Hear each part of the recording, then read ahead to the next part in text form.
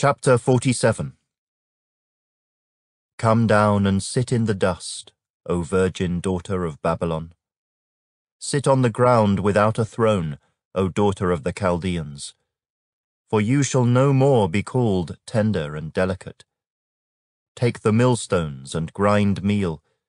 Remove your veil, take off the skirt, uncover the thigh, pass through the rivers. Your nakedness shall be uncovered, yes, your shame will be seen. I will take vengeance, and I will not arbitrate with a man. As for our Redeemer, the Lord of hosts is his name, the Holy One of Israel. Sit in silence, and go into darkness, O daughter of the Chaldeans. For you shall no longer be called the Lady of Kingdoms. I was angry with my people. I have profaned my inheritance, and given them into your hand. You showed them no mercy. On the elderly you laid your yoke very heavily. And you said, I shall be a lady forever so that you did not take these things to heart, nor remember the latter end of them. Therefore hear this now, you who are given to pleasures, who dwell securely, who say in your heart, I am, and there is no one else besides me. I shall not sit as a widow, nor shall I know the loss of children.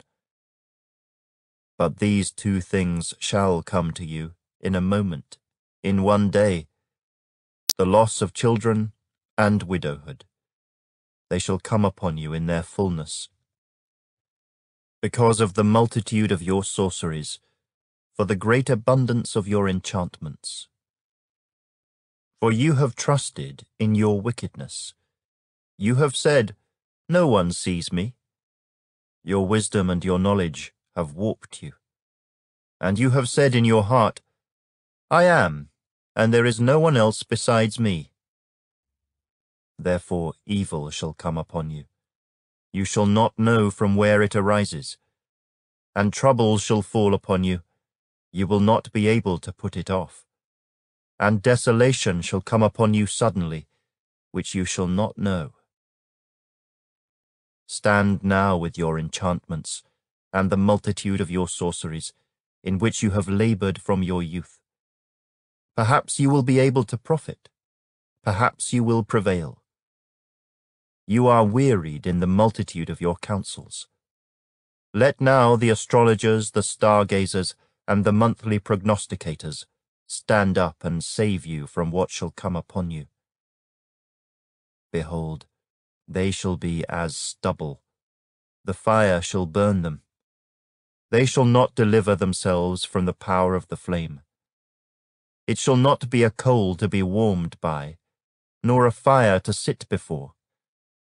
Thus shall they be to you with whom you have laboured, your merchants from your youth. They shall wander each one to his quarter. No one shall save you.